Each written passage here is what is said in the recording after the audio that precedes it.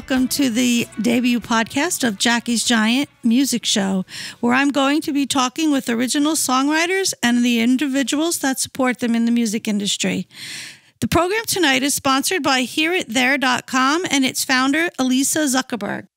For this first podcast, I'm thrilled to have Evan Balzer, a Hudson Valley songwriter and instrumentalist. Hi, Jacque. Hi, Evan. How are you? I'm doing great. Thank you. So, if I call you by the wrong name, please forgive me. and um, we'll just keep on going and pretend like I didn't do that. So, before we get too far into it, and I always want to make sure we cover this topic, tell me where we can find you and your music on social media. It's um, available everywhere where music is sold. How's that sound? It sounds like the old um, the old TV and radio ads. Um, CDs are available at cdbaby.com as well as amazon.com. And uh, for streaming, just about everywhere. You can get it Apple Music, iTunes, um, Spotify, Rhapsody, which I understand is now Napster, um, as well as iHeartRadio, and I think a couple, and Google Play too for our Android friends. Oh, really? So tell me about the other social media um, facebook instagram and mm-hmm. those kind of things are you on all of those as well yes um, it's really essential for marketing uh, music in this day and age as well as marketing oneself as a as a performer um, facebook from a business standpoint, has so many advertising tools that one can use to uh, to promote their music and get people out to shows and build um, followers and, and lists of fans and promote music, um, linking Instagram. You, you, it syncs up with just about any other social. They all sync together. Mm-hmm. Uh, having you know been around as long as I have and and remembering a time when we didn't have things such as digital recording technology as well as social media it really is it's indispensable for an independent artist to have these tools at their disposal to promote themselves. What about are you a tweeter? I don't tweet as much. No? I, th- I think there's enough tweeting going on in the world these days. well, yeah, and we'll leave that, it at that. That that you know, it's funny because I feel like Twitter is almost dying, and maybe it's me, but um, and it's not because of who's doing it. I just thought that it was going away, and it seems like funny that it's so controversial now. Well, and with social media too, I think as a musician, you have to be conscious of who your audience is, and my audience um, are men and women 45 years of age and older because my music is essentially classic rock with a you know a, twist as i say a twist of funk and blues in it. Um, but younger audiences um, kids in their 20s you know facebook is not nearly as prevalent from a usage standpoint as snapchat let's say or um, or, or um, instagram I do have some background in marketing. Oh, do you? yes. Where did you go to school? Um, I went to actually Dutchess Community College is an alma mater and um, Pace University, but I'll give a shout out to my Dutchess Community College friends because they come out to a lot of my um, shows in Poughkeepsie, and um, it's always good to see them. So there you reminisce old war stories. they're your demographic. yeah. So, what about music? Did you study music in school? I did not. I did not. I started um, in the fourth grade. My first exposure. Well, first of all, I have to go back. My mother um, was a really gifted soprano, and she would always be singing.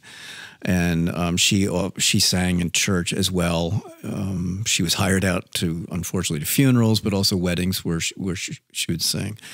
And um, so always exposed to music within the household. And then through public school music programs, which back when I was growing up, you know, every child had an instrument of their choice put into their hands.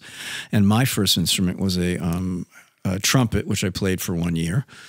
And eventually, the next year, I, it, it was a journey. I found clarinet, and then I played saxophone for maybe um, three or four years and but now unfortunately i couldn't play a note if you asked me and then I, I, really didn't start playing guitar until i was about 15 16 years old you must have read my mind i was going to ask if you still played the sax because that kind of sounds like it would be part of your the music that you're playing now? I, I, I think you know, I don't know. Hopefully, it's something innate within me from a melodic sensibility. But I, I, I what I do know for sure is having been exposed to those different instruments, which I don't believe is the case anymore in public schools, but having been exposed to all those instruments, it gave me a real appreciation for tone and how difficult it is to get a tone on a saxophone, and, and particularly a trumpet for that matter.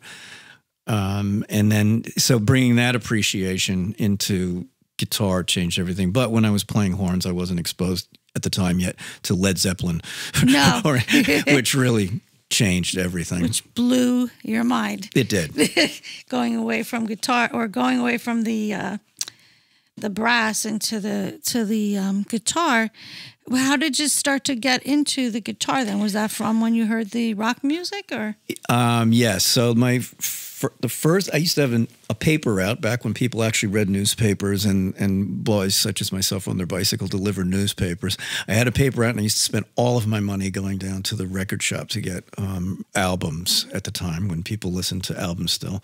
Um, and the first album I bought was Edgar Winter, They Only Come Out at Night, that had a pretty interesting cover. And i will never forget my mother's reaction when I brought it home. And she, and I go, Look, mom, Edgar Winter, They Only Come Out at Night. And her response was, Thank God.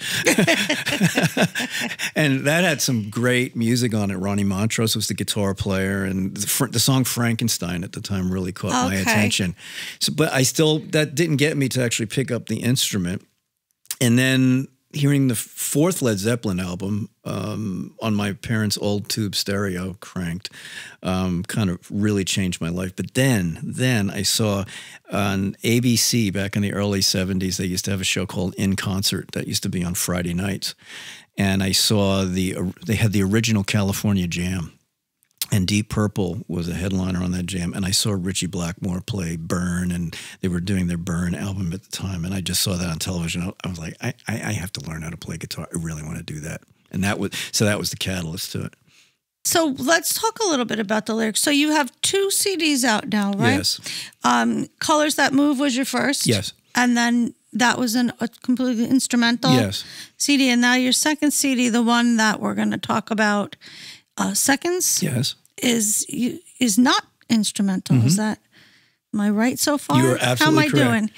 Um, so, how did you, why did you change, or what kind of drove you to go from one to the other? Um, so the first record was uh, "Colors That Move." It was just pretty much to prove to my first. It was to prove myself that I could get back to playing guitar because I took a long time off um, to raise children and and get married and all, that kind of stuff. And I, you know, through some personal changes in my life, I found that I had some time on my hands and I wanted to really get back to playing guitar and get back to playing it in a serious way, much like I did um, in my younger years. So, what better way to get back into it than declare, well, I'm going to make an album, which was, you know, at the time, probably a pretty bold thing. Um, but I had a I had a kind of a sonic vision in my head what I wanted to achieve, and it was specifically sonic. It it didn't involve any kind of lyrical content or anything like that. And I always loved Jeff Beck Blow by Blow and I loved the sound of Led Zeppelin, the Presence album. I, I, I, think sonically, the guitars on Led Zeppelin Presence were probably, many would argue against me, but I think that was probably the high moment, especially something like Achilles' Last Stand. And to marry the two of them into some kind of instrumental um, album. So I went back into doing it, and I had a lot of um, help and um, support from my, my old friend and drummer friend, Paul Ferenc um, who we worked together on this. He's he's I'm he actually has co-writing credit on a lot of the ideas. And we went in, we bashed stuff out, and we recorded it. And so that. It, it, personally, it felt like an it felt like an achievement. Wow, I was a, I was able to do this, and it came out meeting my expectations. Now for this album, you know, I believe any artist does not want to become stale. And if I were to come out and do another instrumental album. I think for my own listening and for others, I, I don't want it. I don't want to be repetitive. And it's kind of, I think as an artist, I think it's kind of fun to throw curveballs at people. So I don't think anybody was. I, I, I kept it under wraps for a long period of time. The guys in my current band, um, John Clay and Gary Brokaw, they didn't even hear the um, CD until I actually had the CDs in, in my hand. They did not play on the um, on the CD. I'll talk about who did later, I'm sure. But I wanted to approach lyrics because I didn't want th- people to think I was just all about doing a guitar album. Because a huge influence on me um, was Pete Townshend um, and Richard Thompson and a lot of artists that really um, had something to say lyrically. Pete Townshend, um, All the Best Cowboys Have Chinese Eyes, and Richard Thompson, Shoot Out the Lights, and um, Rumor and Sigh, particular favorites of mine. So I, I, I thought, you know what? I can do a guitar album, but what if I really tried to focus on lyrics and singing for the first time? Um, and so that's that's the that's that's why the evolution was of um, lyrics, but also the approach to creating this album was different from the last album. The last album was a lot about riffs, guitar riffs, and um, drum grooves, whereas this one was starting from well, what would this sound like as a song, and starting from it, you know, from a song standpoint. So you wrote all the lyrics Yes. in a week? No. That No. was a joke. Yeah. But um, so when when you sang, were you surprised that you could sing, or did you? Well, I started singing after the first album came out. Um, the I wanted to pl- have it played out live, and so I had to actually put together uh, a, a band to play it. And in order to get into certain venues, you can't just jump out and start playing. At least ar- around the Hudson Valley, just jump out and start playing, or, you know, original instrumental instrumental guitar music because Right. you will never be asked back. So I had to incorporate other um, material into my repertoire, and that required singing. And but because I wanted to keep it down into kind of a a, a sparse um, lineup, a trio lineup of guitar, bass, and drums, I decided, you know what, I'm going to try and sing for the first time. So I sang, started singing live for the first time, and then after when I went into doing the album, the thought was, well, I would probably bring somebody in, but then I thought, you know, doing a project like an album being an artist, you you have to always challenge yourself. And I at the time I thought, you know, there probably isn't any bigger challenge than singing on a record. So that's how I got to that point. Ah, And in listening to it, I was like, well, and um, my my friend uh, Paul Schlichting, um, an old drummer friend of mine, whom I with whom I'll be doing some um, new projects coming up shortly.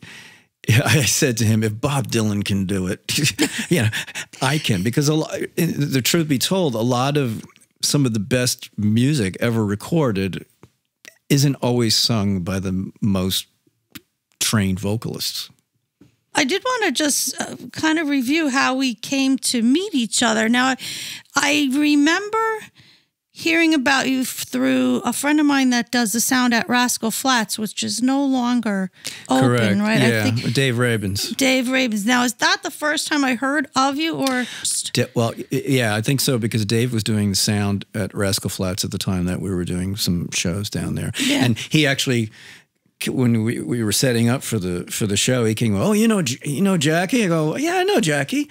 And then he goes, well, I know, I, I know her too. You know, yeah, And- yeah, and then I feel the same way about him because he does he does some really exciting stuff. Do you see? He just did something with with um Alice Cooper. Alice Cooper, He was really excited about that, Yeah, and that the Eagle, and the Eagles as well. And he's a really, really talented guy. I mean, he's. Who, Alice Cooper or No, Dave Ravens, yeah. Does he play instrument as well? I or- don't know if he does. I just know that he does great live sound.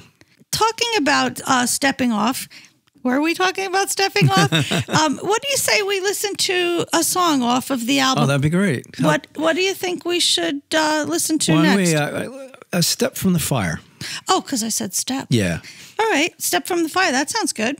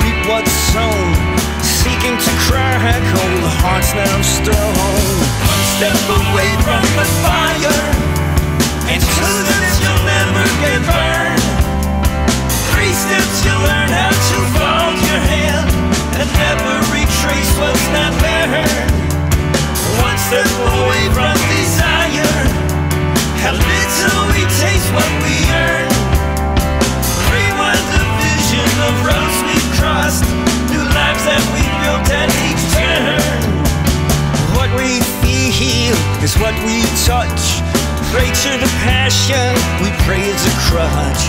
Know how now, but we knew then. The joy of each sun, no keep up to trend. Streaks of gray, the wrinkle of years. Dimmed expectations, you forge on what's clear. Dusty frames, old smiles flicker past. Framed in the grade, are dreams that we cast. One step away from the fire. And two that you'll never get burned. You learn how to fold your hand and from desire. How little we taste what we earn. Rewind the vision of roads we crossed, new lives that we built at each turn.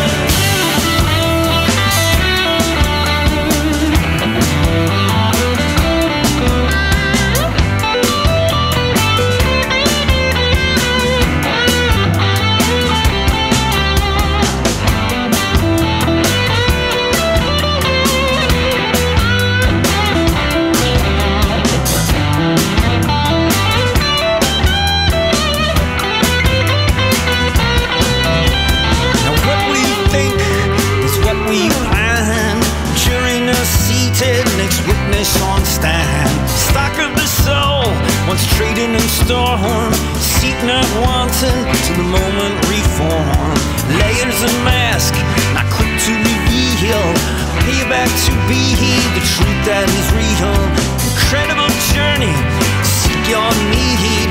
Step near the fire, the spirit bleeds. One step away from the fire, and two that you'll never get burned. Three steps you learn how to fold your hand and never retrace what's not learned.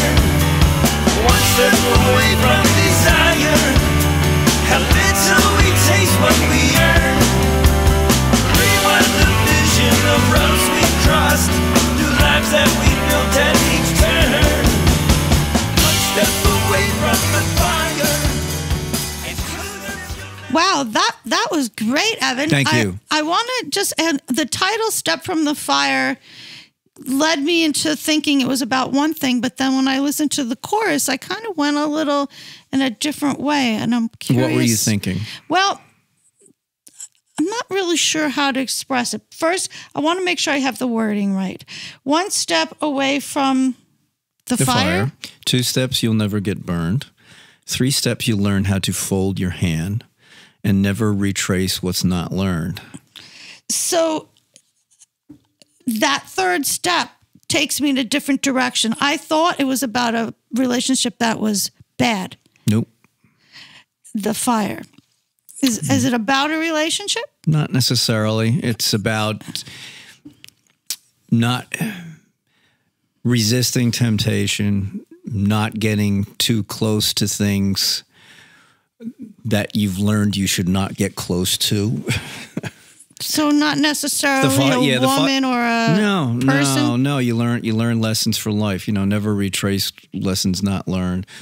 Um, one step away from desire. How little we taste what we earn or yearn, depending on how you want to hear it. Uh, but no, it's not n- nothing.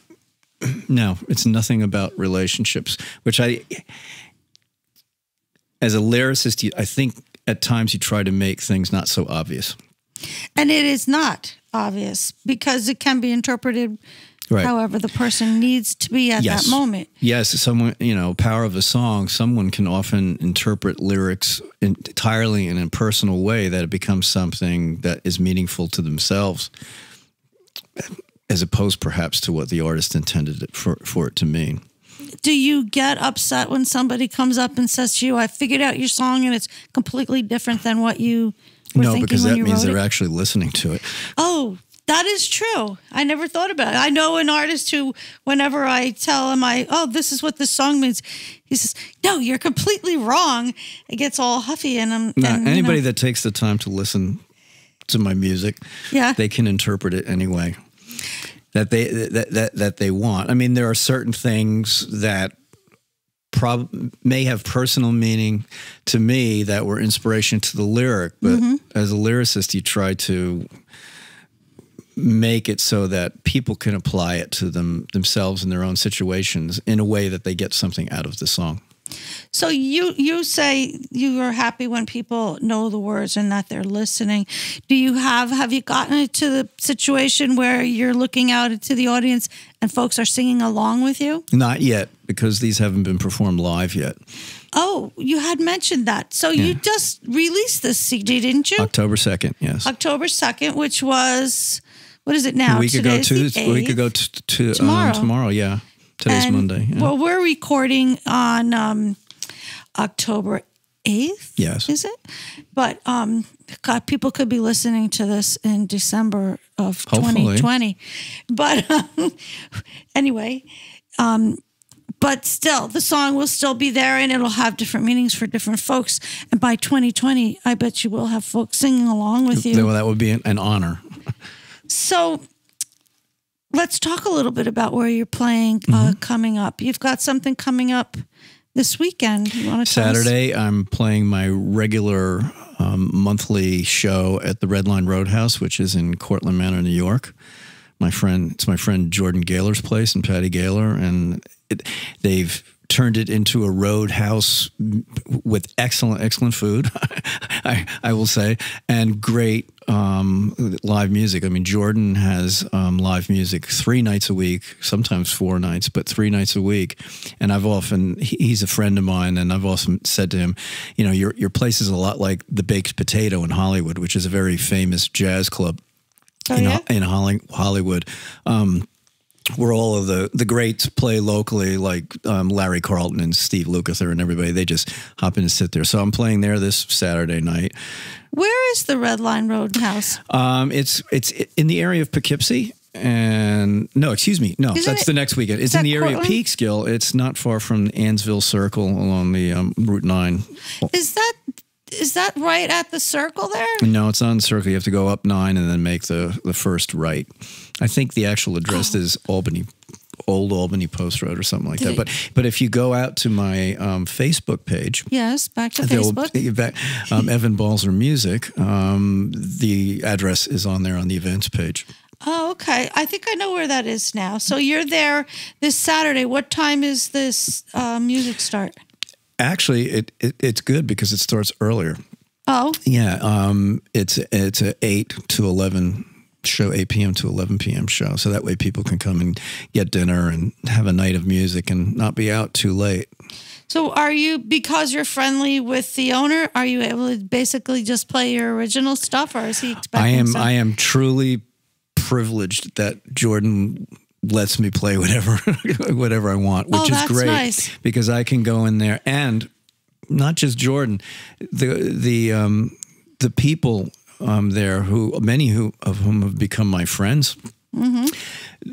They give um, me and the and the trio um, the license to to play whatever we want. And I should add, it's not just me. I have a I have a great band behind me. I have John Clay on drums, who's um, actually done a lot of um, jazz work um, with Zoot Sims and some other players. And um, Gary Brokaw plays bass and also handles some of the vocals.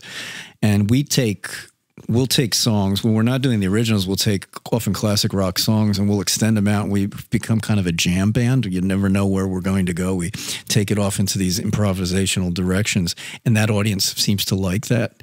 Um, which is great as a musician because you get to experiment stuff. So often, very often, because I'm there every month, I will try new stuff there before taking it to other places.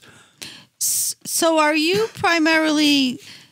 It's a residence, I guess, that you have. Is it always the same, like the third Saturday or the first Um, Saturday? In or- the beginning, it was. It was Yeah. kind of like the third Saturday, but we're experimenting with like Fridays and and, Really? and, and, and, and Saturdays because they, they get they get a good crowd there on Fridays as well.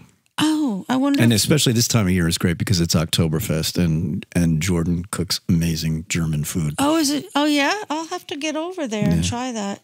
Um, Wiener Schnitzel or All of it, all of the schnitzels, Bratwursts. um, bratwurst, The best of the worst. Schwein, Schweinbraten and um, Sauerbraten, everything. Oh, yum. So is it is it primarily German at the Red Line Roadhouse? No, just in October, just for Oktoberfest. just for Oktoberfest.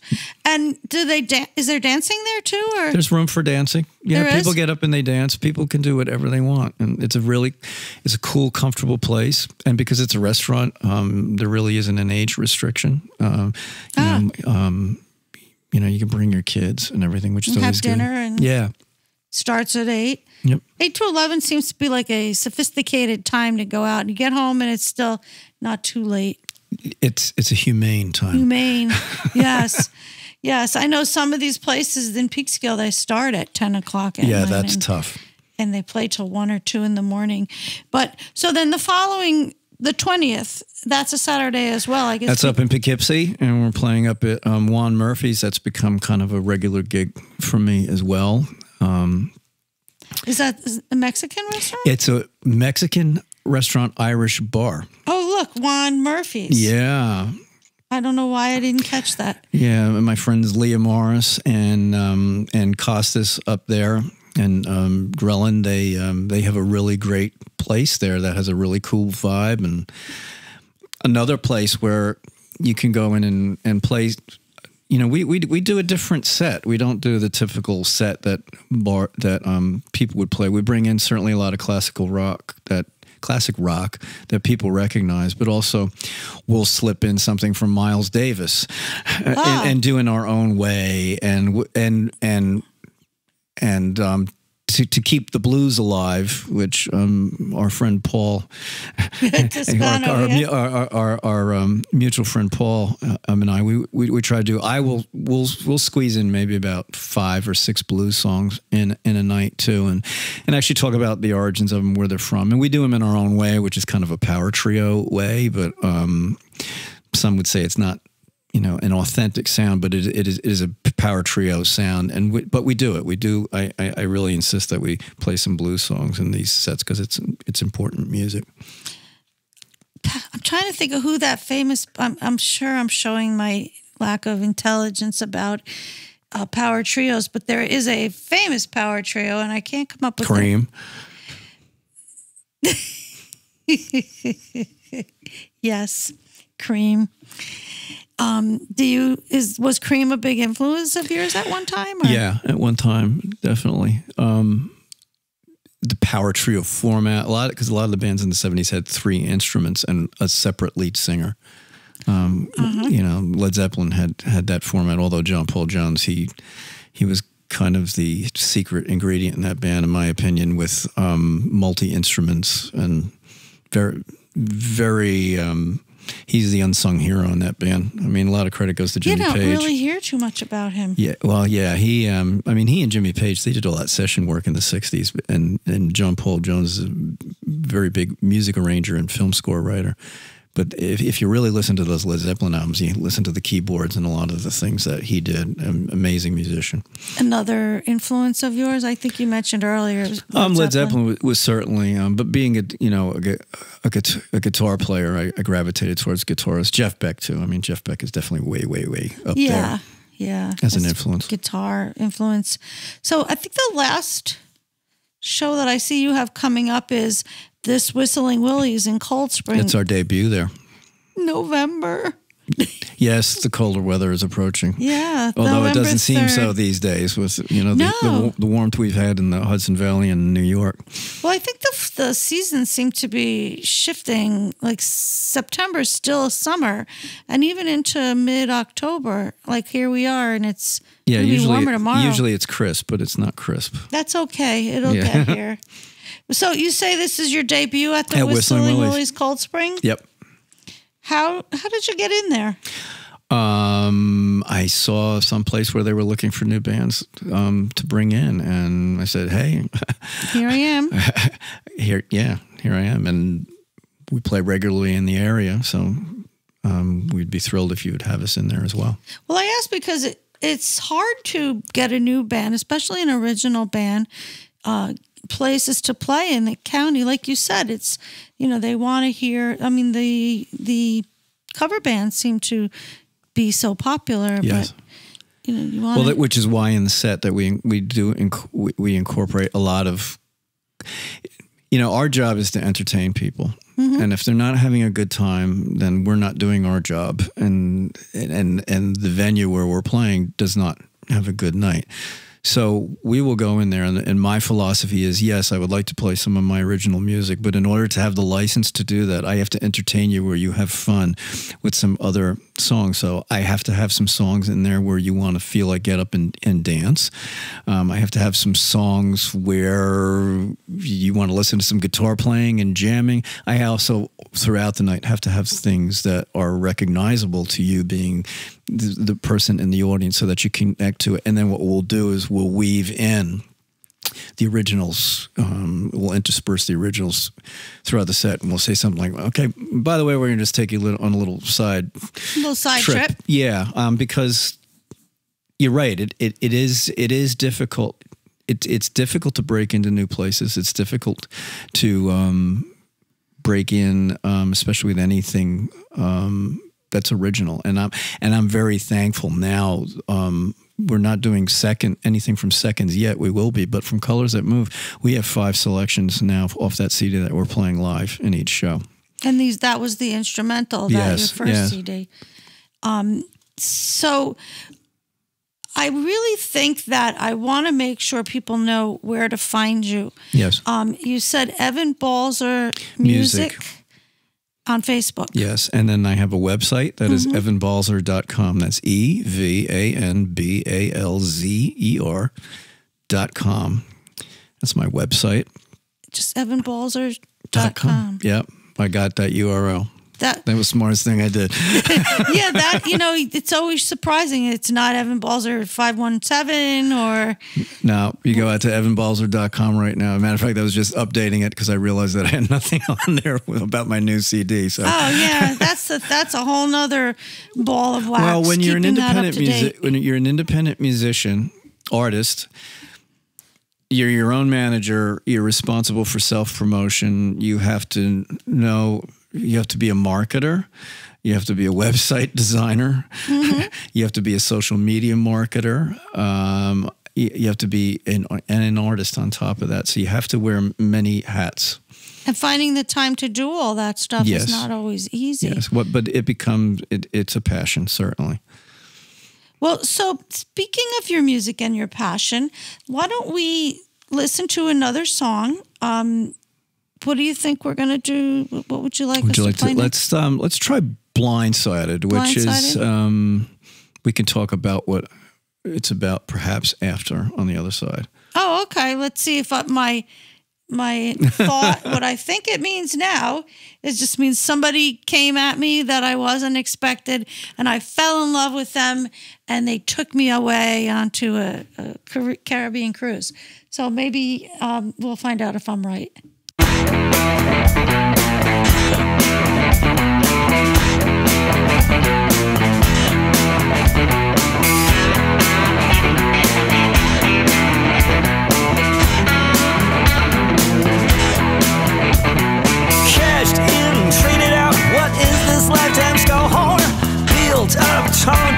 Shut out with both the horn.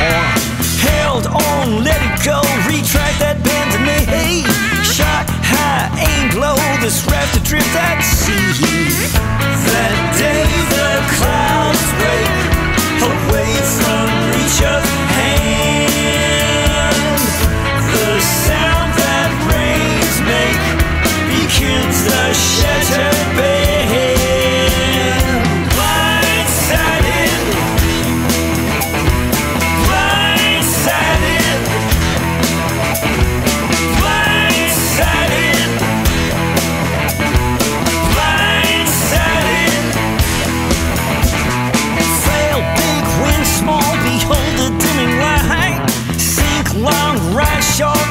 of winter's true, choose false, the tents are coming down.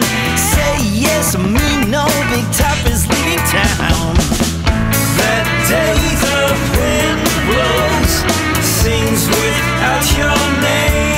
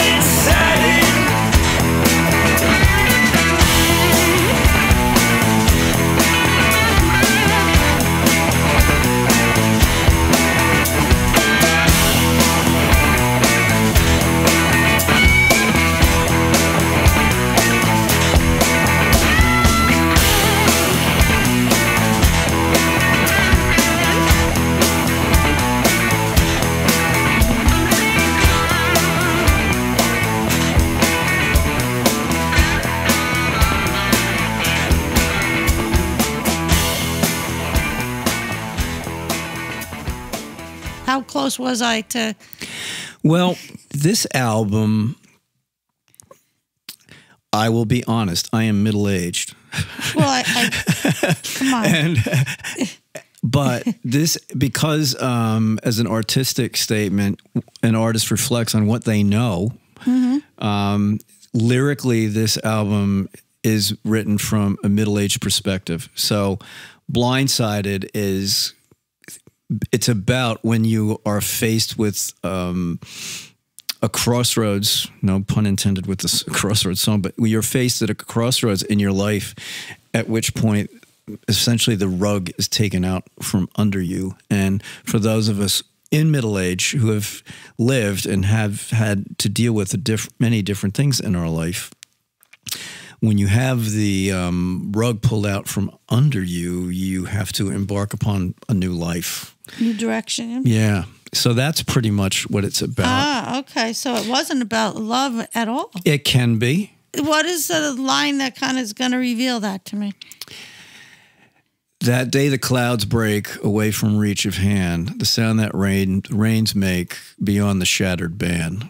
You know. So a shattered band could be um, a marriage, it could be a bond, but um, you know t- about train empty trains. Um, it tries to get at it tries to get at when you're at that crossroads in your life and the rug gets pulled out from under you.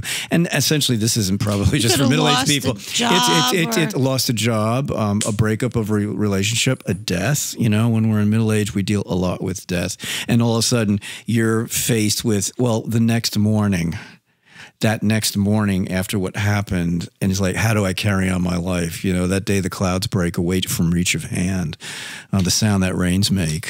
Um, so you interpret it like that. Um, and also for shooting towards things in your life you, you have to play the game in life. You get hurt but if you don't play the game in life you don't live Yeah, you gotta. so how's that for out there. being evasive and No, it's good. So I'm just gonna.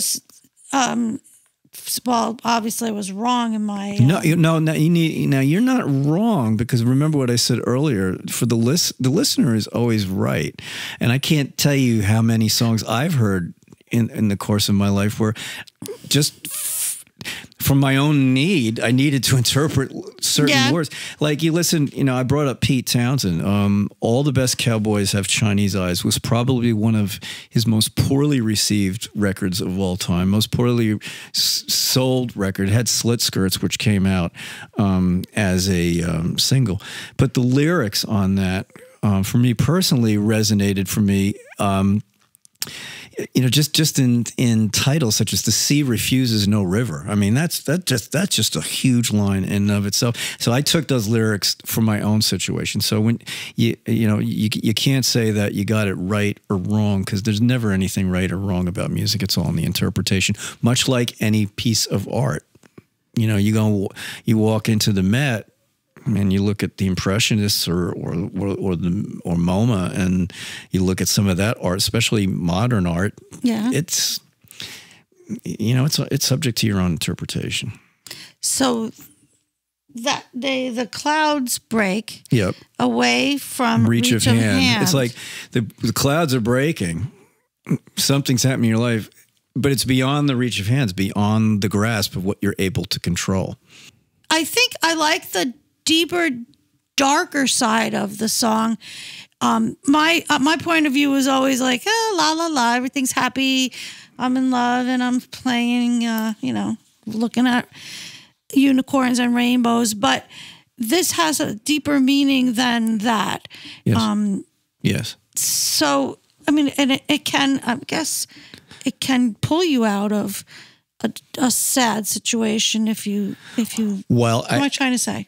Um, so the lyrics, or we'll call them call it serious, if you will, but the beat. Remember, any music has to move you, and not just lyrically, it has to move you. So the beat is very Motownish, Yes, not. Caribbean at all. no, uh, upbeat. it, up, it, it's It it's is. upbeat, and and what I tried to do with this song, you know, some things you have to do intentionally when you're make when you're when you're doing songs and making an album.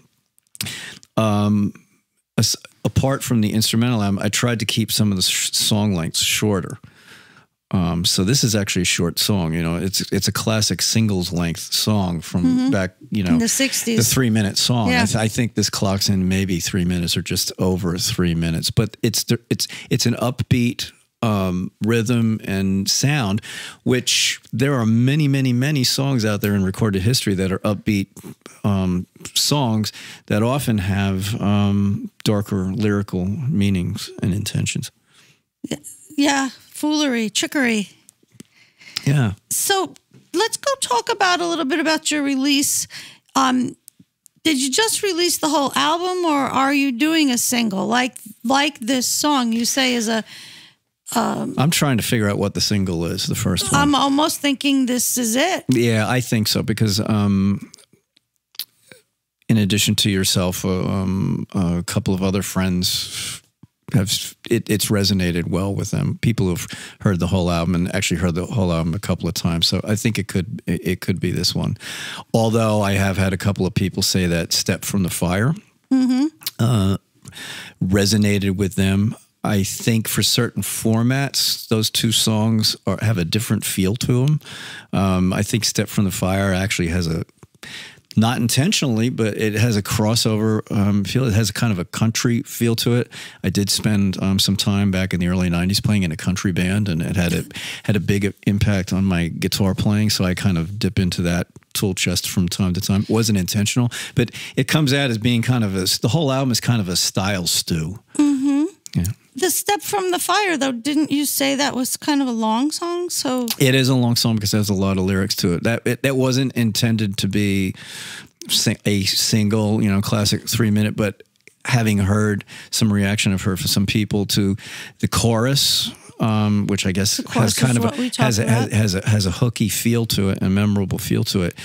It could have some kind of single potential. Um, long song, you know, singles that have been successful have not always been um, Like short. Ask Don Pie? McLean, yeah, our our neighbor in um, over in Garrison. You know, Oh, yeah? yeah, I believe he still lives there. But he- yeah, Well, so we off air we were talking a little bit about picking singles and songs in that you were telling us about reverb and something that you Reverb Nation. Reverb yeah. Nation.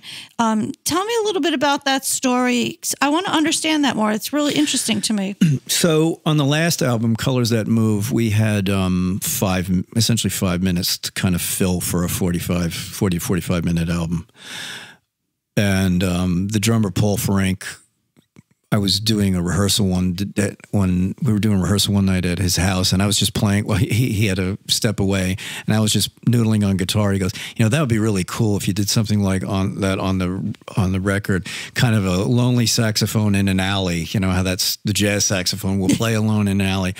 So it was kind of cool. So then. Um, the engineer and co-producer Seth um, Mintz, I told him just lay down some kind of a keyboard pad, throw a drum machine to it, and I'll just play a guitar solo over it, and it'll be, it, it- you know, it, we'll we'll fill up a few minutes of it with a with this lonely guitar thing. So that became Jaded Raven. And what I did was I wanted to get feedback. And so Reverb Nation had this, they still do. They have a product called Crowd Reports, where they take the song and they put it out to a, a, a blindly randomized audience, getting into research speak, my marketing background. There you go. um, a randomized audience where you, they put and and and the people to listen to it they don't know the artist they just listen to it and they rate it and they're allowed to comment on it uh, and the report and you get a report back you get a market research report back with a rating on a scale of 10 how does your how does this track rate on radio worthiness on a scale of 10 well this jaded raven came back as a 7.9 and anything over 7.2 the reverb nation will make you a featured artist for the month I mean, for the for a week. So this came back. I'm like, okay, here I have an instrumental guitar album. One, two, I have a throw-in song that I just decided, okay, I'll throw it out and see what people think. And what was interesting, not just the score I got back, but the verbatim comments where the people actually writing what they thought, they were very enlightening.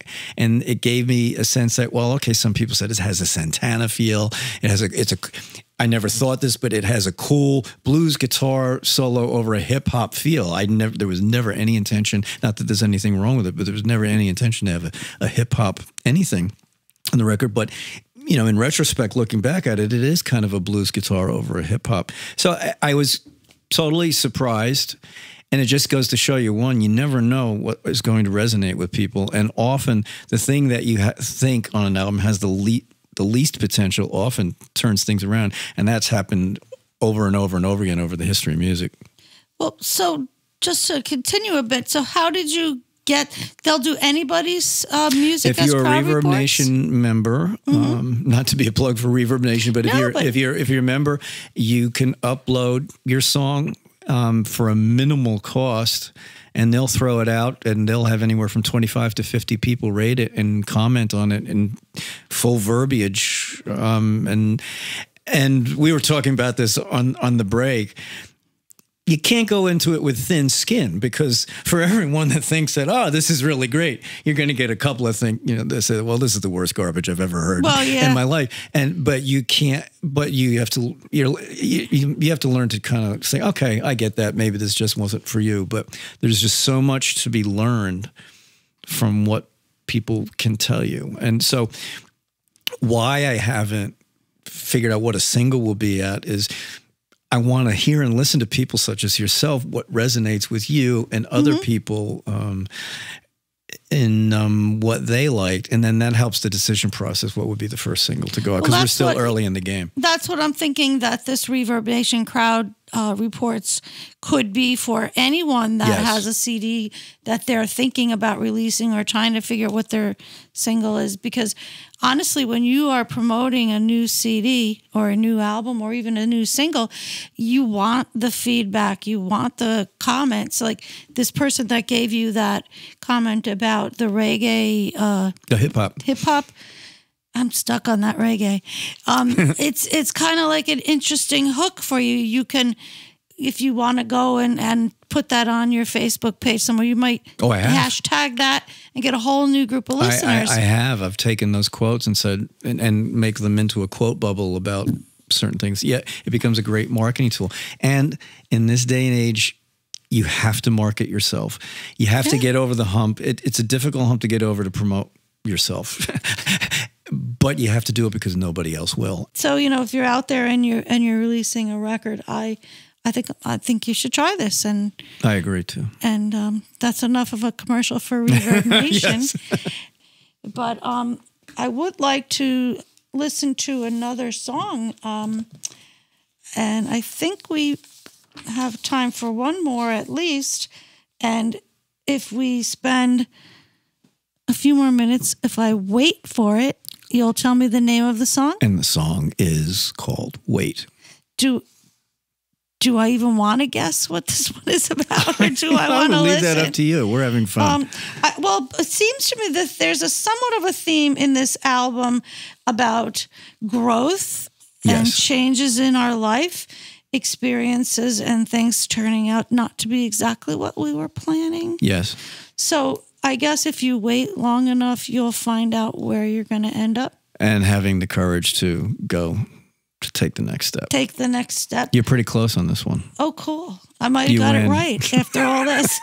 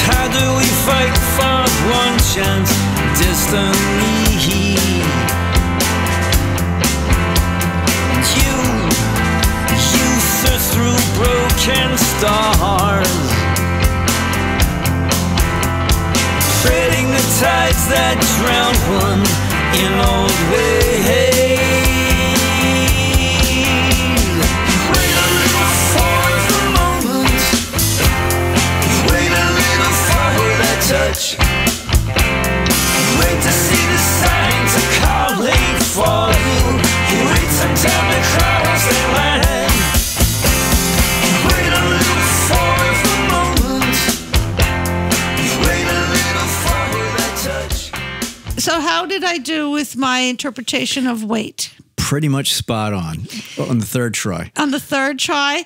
Well, you know, after having spent the time talking with you and getting to know a little bit about you and um, the the vibe and the nature of the album, you know, I learned. There, there you go. There Thank- you and thank you so much for listening. Ah, well, you know, I have been listening in the car for the past week. Yes, I still have a car that has a CD player in it. I my computer does not have a CD player, so the only place I listen is in the car. And um I've been enjoying your music all week and I have been enjoying this conversation Thank you. for the past hour and I thank you so much for being my first guest. It was it was my honor and privilege, and thank you so much for having me You're and welcome. supporting my music. I want to bring you back uh, when we can do a live performance with you and the Power Trio. Oh, this would be a perfect place to do it, and to Yeah, and and I and I want to send a special thank you to Adam Bernier, Yay, our Adam. engineer, who's been uh, guiding us along and keeping us on track. And I look forward to what the future brings for us. So, everybody, thanks for tuning in to the premiere debut. How's that for two fancy words in one sentence? And uh, have a great week.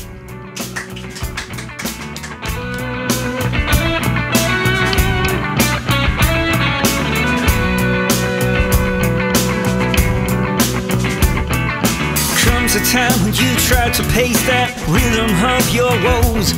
Now, now you tell yourself, don't give in to those devils and those robes. Just tip the switch of the threading stitch of time in our trail of lows. Begin to know what we feel to be till we tell what we can show.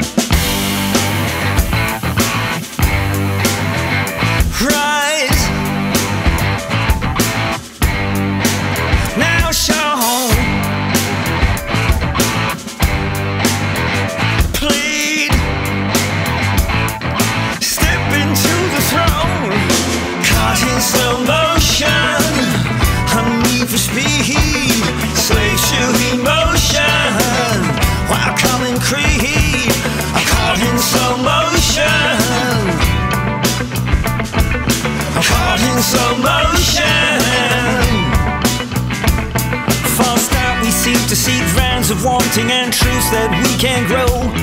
Till days forbid, it is tempting to descend in traps we know. Beyond the pale is a sacred grave with which we take all we own.